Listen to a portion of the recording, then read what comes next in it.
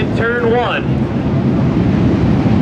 Well, it looks like uh, the 29 Bud Keading's night is done, unfortunately. We'll continue on without him. 12 laps down, 18 to go.